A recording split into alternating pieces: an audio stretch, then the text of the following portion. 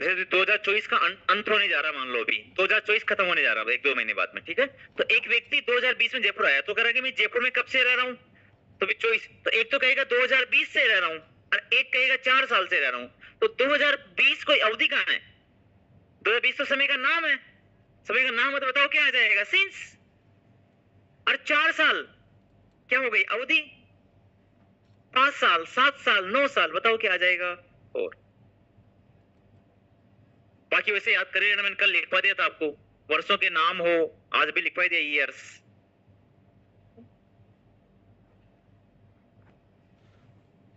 अब जैसे आज गुरुवार है तो सोमवार, मंगलवार, बुधवार, और आज गुरुवार, चार दिन से। चार दिन से क्लास चल रही है। और मंडे से चल रही है। अब तो समझ गए होंगे। मंडे से चल रही है और चार दिन से चल रही है। तो चार दिन को अवधि या नाम? अवधि। बताओ फोर। और मंडे क्या था एक फिक्स बिंदु था। बताओ क्या आ जाएगा? सिक्स। बस, नोट कर लीजिए। आगे बढ़ते हैं।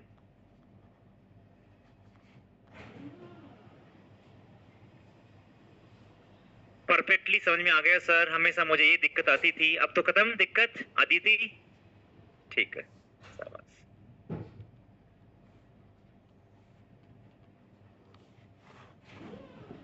मतलब सीन्स फोर का पूरा कंफ्यूजन खत्म, ठीक है? समय का नाम और समय की अवधि। और बताऊ, देखो, ये खतरनाक बता रहा हूँ बता रहा हूँ मैं आपको। अगर ये आ गया तो फिर सब कुछ ही आ गया। इसमें मैंने दो के पीछे जोड़ा था। अब देखना क्या हो रहा है। ये खतरनाक है। वीक और वीक देखो अब। अभी मैंने सेम लिखा है समझना ध्यान से? वीक और वीक सप्ताह अब एक तो लिख रहा हूँ मैं वन और एक लिख रहा हूँ मैं लास्ट देखो अब ये सबसे खतरनाक है एक तो एक सप्ताह से और एक गत सप्ताह से। तो एक सप्ताह क्या हुई? अवधि?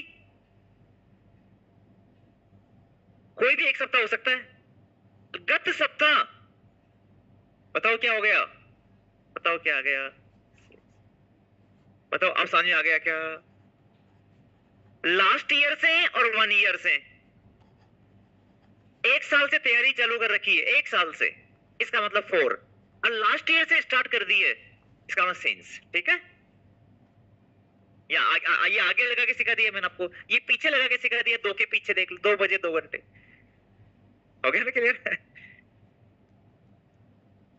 बस अब आज नया स्टार्ट करेंगे। नेक्स्ट अगला रूल मतलब अगला प्रिपरेशन जो भी हो आगे स्टार्ट करते हैं।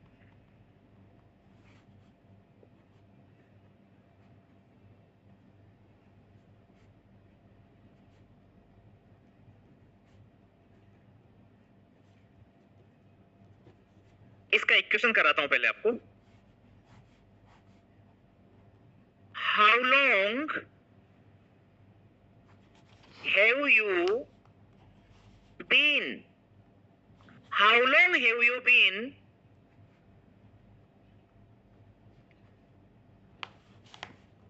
making this plan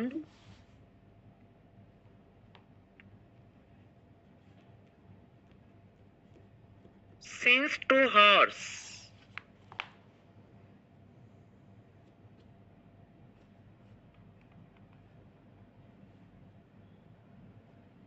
A. B.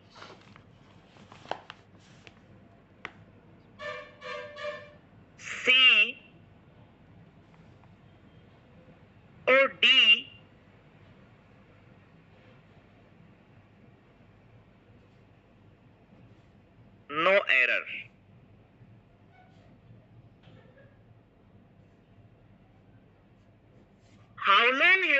making this plan since two hours? Option A, option B, option C, option D. APO का प्री का पेपर 19 जनवरी के हिसाब से एपीओ का प्री का पेपर 19 जनवरी के हिसाब से कि ए बी सी में से मिस्टेक कहाँ पर है और अगर मिस्टेक नहीं है तो आंसर क्या करेंगे डी नो एरर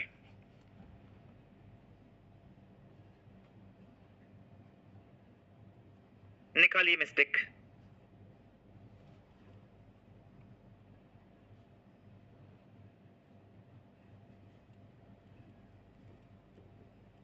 डायरेक्ट निकल गई होगी।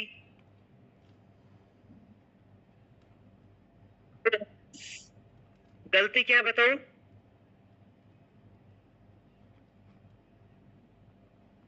सी पार्ट में मिस्टेक, गलती हम बता रहे हैं कि सिंस की जगह फोर आएगा ठीक है? अब मैं कह रहा हूँ कि आरपीएससी इतना आसान क्वेश्चन नहीं देगी एपीओ में। ये तो फिर कोई भी कर देगा। ये तो कोई भी कर सकता है ना? तो आवाज़ के साथ फोर करना फटाफट से। वो वहाँ पर क्या करेंगे? आपको फोर ही देंगे। ये तो अपने सोच रहे बहुत इजी क्वेश्चन आ गया इसका मतलब तो। वो आपको वहाँ पर फोर ही देंगे फोर टू आवर्स और ऐसा देते हमारे लिए पेपर स्टैंडर्ड हो जाएगा। पेपर टप हो गया फोर टू आवर्स तो सही दिख रहा है। जब ऐसा पेपर आएगा तो गलती ए में करेंगे, काफ़ी लोग काफ़ी लोग बी में करेंगे। लेकिन सी में कम कर पाएँगे। ये सही है फोर टू आवर्स बड़ा भी था कोई नवी लेकिन अब मैं कह रहा हूँ आपको कि फिर भी ध्यान रखना, आप सी में ही एरर करके आना। अगर पहले से फोर दे दे तो पहले एरर सी में ही करके आना। बताओ अब क्यों करके आना? समझ में आया क्या? देखो।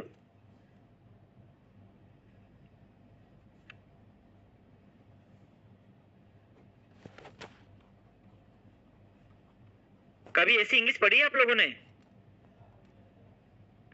What will you take coffee what will you take coffee क्या तुम लोग तुम क्या लोगे कॉफ़ी अपने किसी फ्रेंड को रेस्टोरेंट पे ले गए और उनसे ऐसे बोलेंगे कि अपन, कि what will you take coffee तुम क्या लोगे कॉफ़ी बोल सकते ऐसा? नहीं बोलना। या तो ये कहना। या तो ये कहना कि विल यू टेक कॉफ़ी क्या तुम कॉफ़ी लोगे? या फिर ये कहना।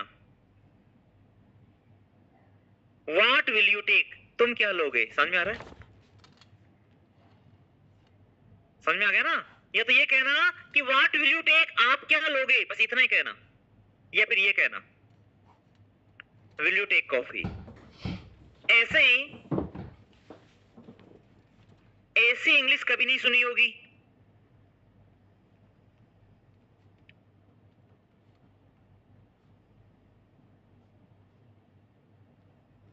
Where are you going to Delhi where are you going to Delhi तुम कहाँ जा रहे हो दिल्ली नहीं सुना होगा ऐसा? सिर्फ़ क्या होता है?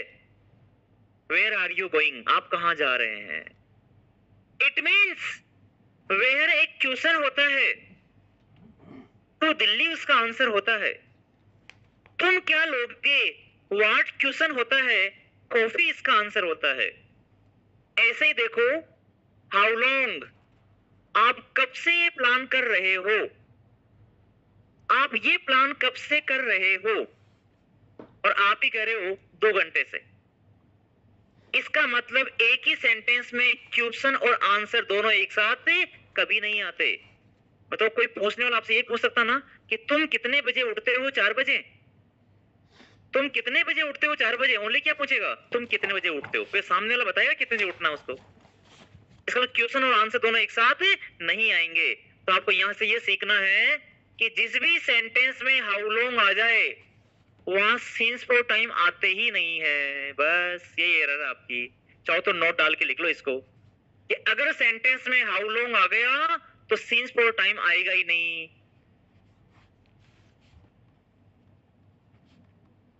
अगर सेंटेंस में since for time sorry how long आ जाएगा तो हाउ लॉन्ग के साथ में सेंस फॉर टाइम का प्रयोग नहीं करते हैं। ये नोट डाल के लिख लो।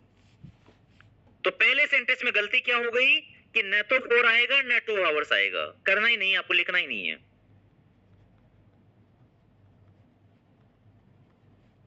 यदि सेंटेंस में हाउ लॉन्ग का यूज़ हो तो सीन्स फोर प्लस टाइम का प्रयोग होगा ही नहीं। With the use of how long अगर सेंटेंस में हाउ लॉन्ग आता है तो वहाँ सीन्स फोर टाइम आता ही नहीं है।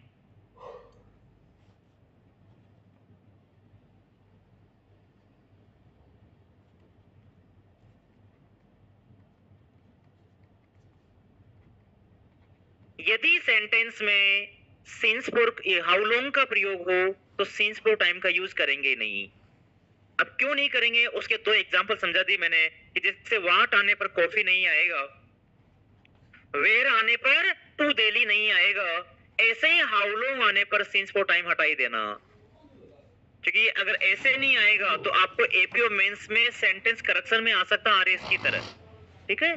तो जब भी आरएस में सेंटेंस करेक्शन आए एपीओ मेंस के अंदर, क्योंकि ग्रामर को दोबारा तो नहीं पढ़ेंगे फिर, ठीक है ना? तो हाउ लॉन्ग देखते ही उस वाक्य में से सिंस फोर को भी हटा देना और टाइम को भी हटा देना। ये बस ये वाक्य यहाँ प्लान तक रह जाएगा बस, ये पुलिस स्टॉप प्लान तक ही वाक्य रह जाएगा, ये हट जाएगा वहाँ पर। बताओ ऑनलाइन में सबको ऑफलाइन समझ में आ गया पूरी क्लास को? ठीक है? हाँ जी ऑनलाइन में क्लियर हो गया सबको? चलिए, अब बढ़ते हैं आगे तो। Next rule fond afraid, tired, glad, proud, और ashamed. ये छह वर्ड लिखिए। नया रूल डालकर ये छह वर्ड लिखो। Fond afraid tired glad proud और एसेम्ड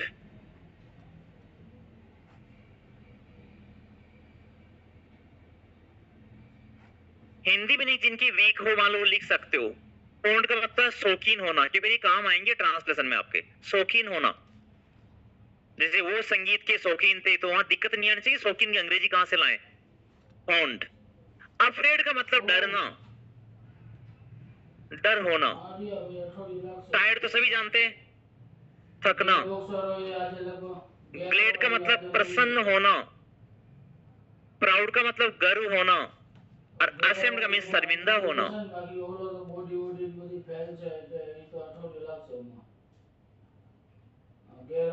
शौकीन होना, शर्मिंदा होना, गर्व होना, प्रसन्न होना, अति प्रसन्न। आई एम ग्लेड है ना ऐसे? हिंदी में लिख लिया सबने। अब वापस एक मिनट के लिए बोर्ड पे वापस आ जाओ। ताकि कंसेप्ट समझ में आ जाए। अब आपको करना क्या है? इन छह वर्ड्स के बाद में अगर कोई वर्ब की फ़र्स्ट फॉर्म आ रही हो, क्रिया की फ़र्स्ट फॉर्म आए, तब तो लगाना प्रीपोजिशन ये। समझना बात को? है ना? प्रीपोजिशन कौन सा लगाना? टू और अगर वर्ब की फ़र्स्ट फॉर्म नहीं आए तो ध्यान रखना वो सभी नाउन मानी जाएगी। तो आपको लगाना है ऑफ़ बस तो आप इतना सा याद रखो कि अगर वर्ब की फ़र्स्ट फॉर्म नहीं आई, तब तो कौन सा लगा देंगे? अगर और फ़र्स्ट फॉर्म आ गई तो कौन सा लगा देंगे? टू